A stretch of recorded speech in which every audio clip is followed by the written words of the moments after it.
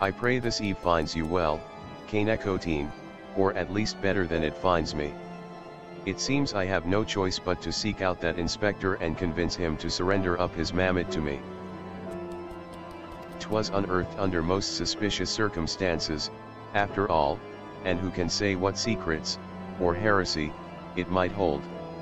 Therefore, the Inquisition would conduct a thorough inspection, and if needs must, destroy it. Given his affinity for the contraption, I fear the inspector may not be amenable to my request. Nevertheless, he must be made to see that it is in the interest of public safety. Would you be willing to help me persuade him? Fury be praised, at least you have seen reason. Let us pray he will as well. I am given to understand that while the inspector and his assistant have been wandering all over the city with the mammoth in tow, they often frequent the gazebo near Fortemps Manor. With any luck, they will be there now.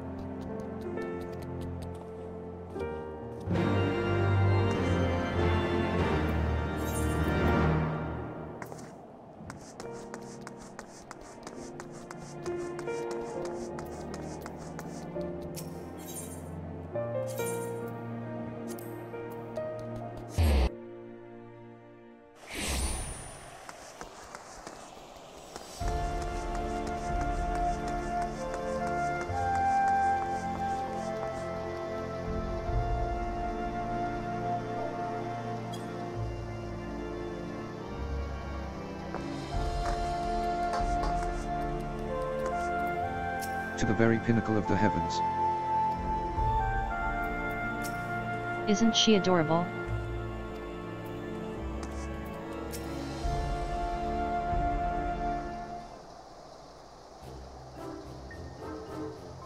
Verily shall we scour all creation, from the deepest pit of the seven hells to the very pinnacle of the heavens, for the answers we seek.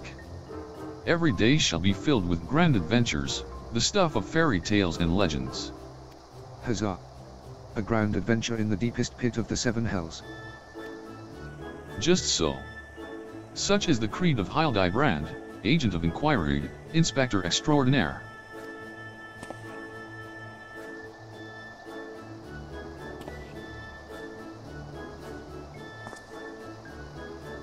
Well posed, Gigi, well posed. I dare say you have the potential to be an exemplary inspector someday. Right, that's enough of that. By virtue of the authority vested in me by the Supreme Sacred Tribunal of Halonic Inquisitory Doctrine, I hereby command you to surrender that mammoth of suspected heretical origin into my custody. Why, hello there, Kaneko team. An Inquisitor sir, ever the jester. Accusing poor Gigi of being a clockwork heretic when 'tis plain to see that he is merely a precocious young lad. Oh, there you go again, confusing the poor girl. As if those big, beautiful, boxy eyes aren't the soul of femininity. Nashu, please. Were you not witness to the magnificent display of Mandervillian masculinity mere moments ago? That's cause you haven't taught her any better. She needs a proper role model to show her what's what.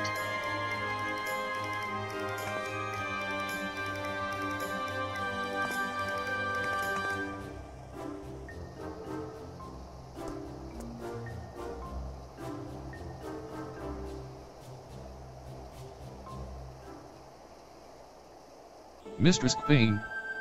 Inspector Sir? What is all this commotion? We can hear you from the courtyard.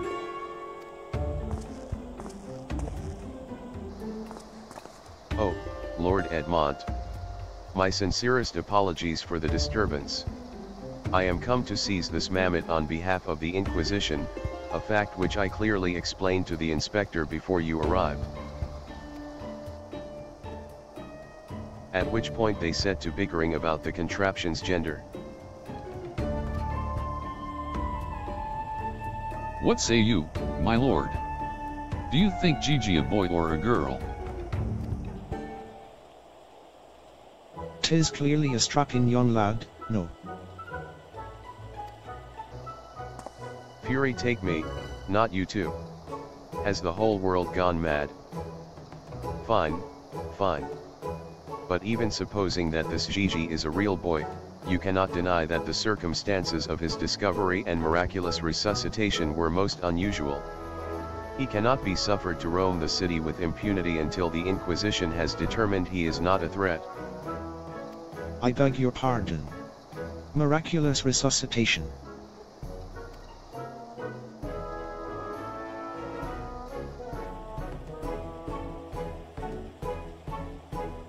I see. Then until such time as Gigi recovers his memory, mayhap it would be best if you adopted him as a ward of House Manderville. I will even stand as witness here and now, if you wish.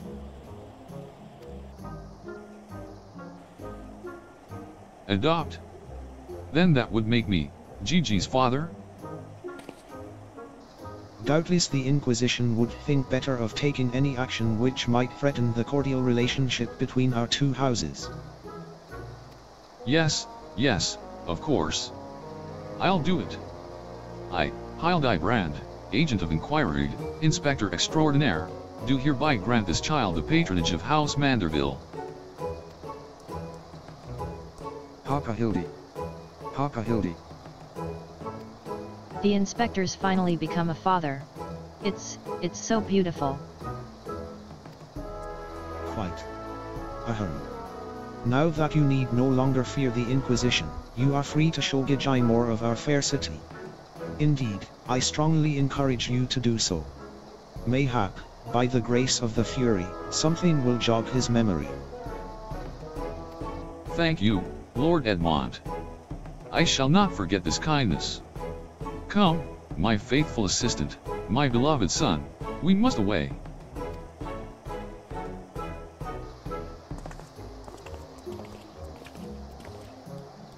Oh Halone, I would not presume to question your grand design, but... Gah! Confound it all. Well. Mayhap I cannot detain the mammoth, but I am still within my rights to observe the blasted thing.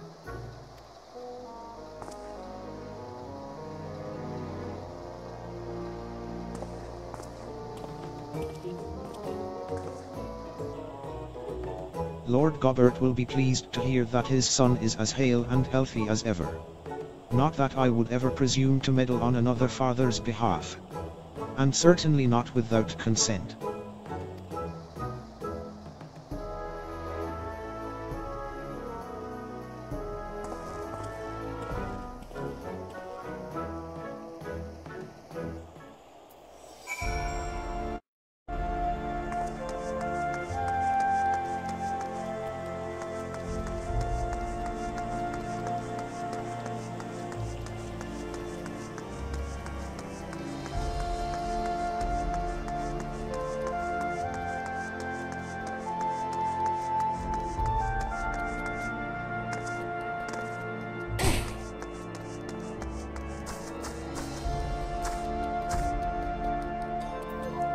COR, look at all them halberds.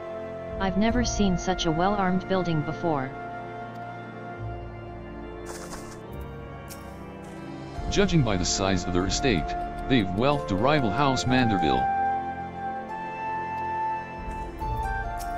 Ack. How long must I stand around waiting for that mammoth to do something passably heretical? HMMMMMN.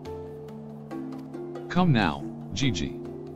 Surely gazing upon this wondrous work of Ishgardian architecture stirs something within your soul? This grand manor of House Duran, ER, House Duran, Male Temp Sarti. Pray do not fill the boy, the mammoth's head with such nonsense. That is the supreme sacred tribunal of Halonic Inquisitory doctrine. I should know, I work there.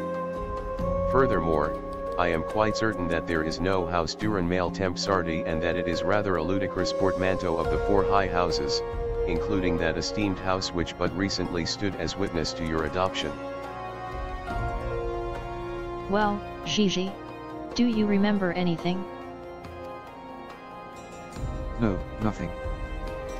I say, rather than parading him before the grandiose, why not give him a taste of something more prosaic? Let us make our way to the holy stables that he might bask in the singular sights, sounds, and smells of Ishgard's famous chocobos.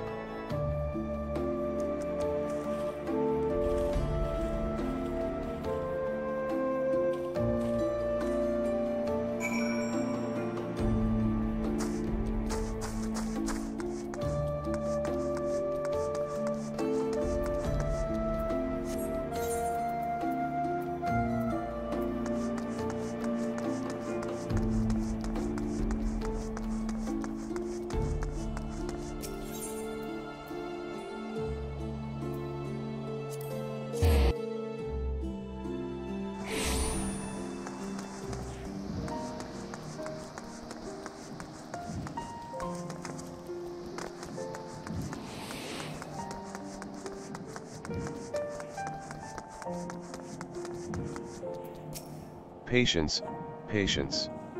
A watched heretic never sins. Such noble creatures, chocobos. How many halcyon days did I pass in the saddle, racing across the windswept plains? So if I wanted hair that color, I'd have to eat plums, va fruits, and pineapples, but how many?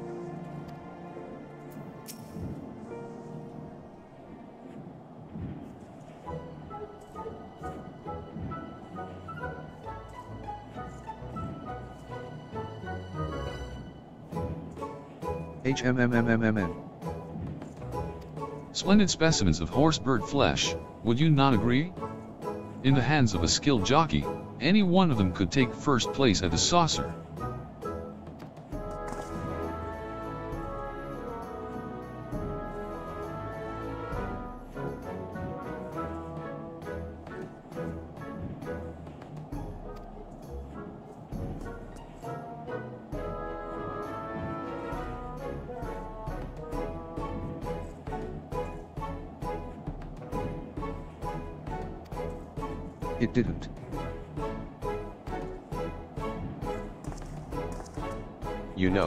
Just because you found him in a Coerthan snowbank, it doesn't mean he hails from Ishgard.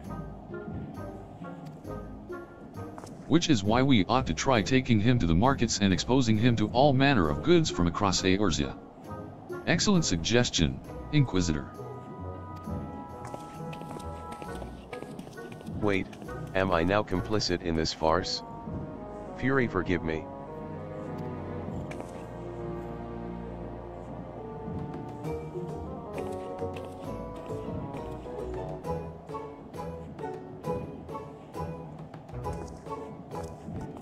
But I want one. I want one. Buy me a chalcabao. Please, father.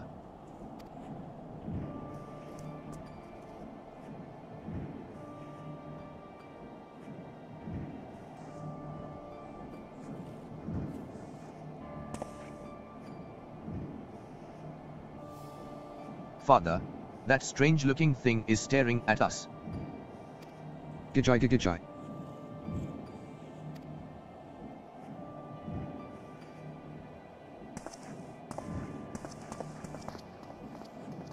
Am I that strange looking?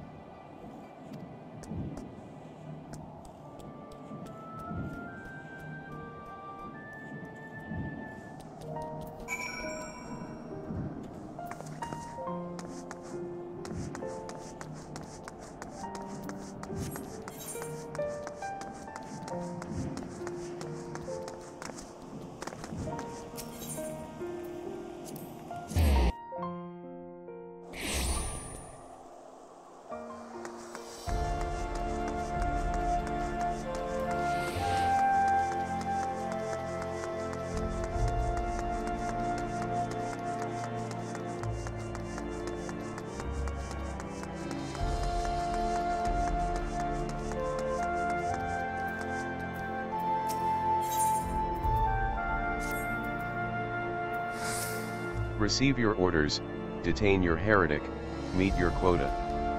Fury take me, it used to be so simple. Frightening on occasion, I grant you, what with my mentor's little episodes, but simple nonetheless. What if I picked one with my eyes closed, and gave it as a name day gift to myself? Oh, I wonder what I'd get me. These goods would fetch a high price in Ul'dah.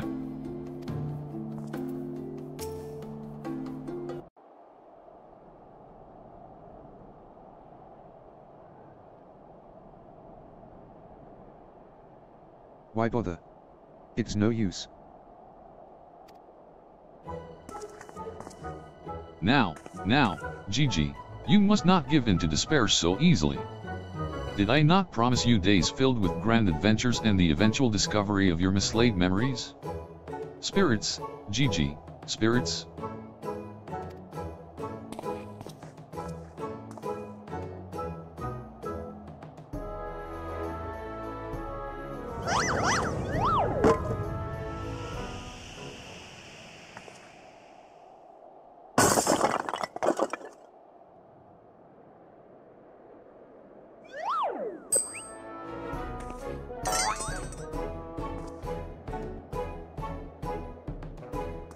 My word, a vase flung to the ground with reckless abandon.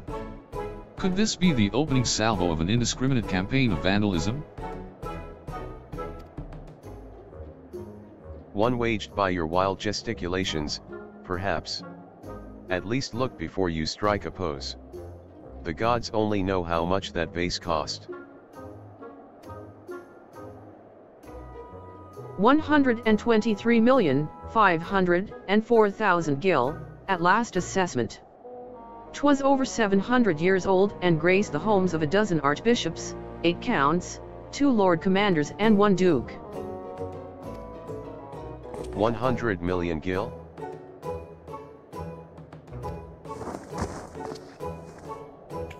Oh Halone, why have you forsaken me?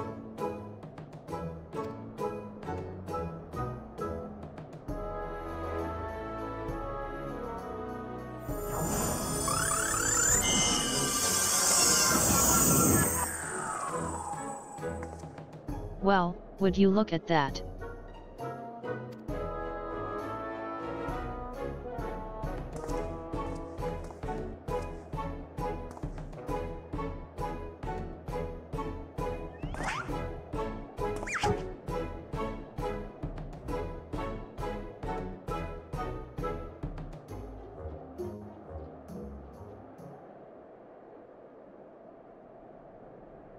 It's, it's a miracle.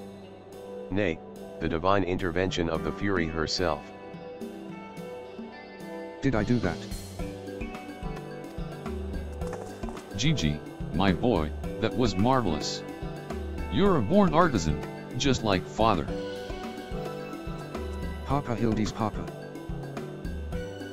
Your grandpapa Godbert, the man who woke you with a few gentle taps to the noggin. You wouldn't believe what else he can do with that hammer of his. Why, some folk say he wields the very powers of life and death. Once he and the missus come back from their tour of the Western Highlands, I'm sure they'd love to see that trick of yours. Do not demean this mammoth's power as a mere parlor trick. We just witnessed a miracle, and I demand that you all acknowledge it. This, ma millimeter it. Sir. I say, sir. 100 million gil for the mammoth. Nay, 100 million gil and the Duke's priceless vase. My word, is this what passes for trade in Ishgard? Gigi is my flesh and blood. I will not sell him at any price. Please, Papa Hildy, no more. I know you mean well, but we can deny the truth no longer.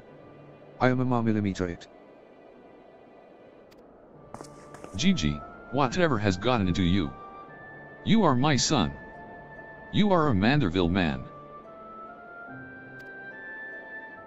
Listen to your papa, Gigi.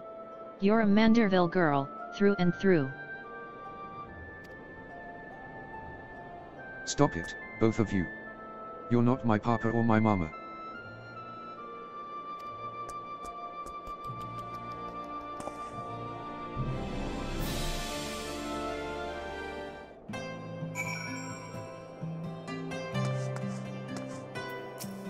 Ah, the unmistakable scent of, well, perhaps not heresy exactly.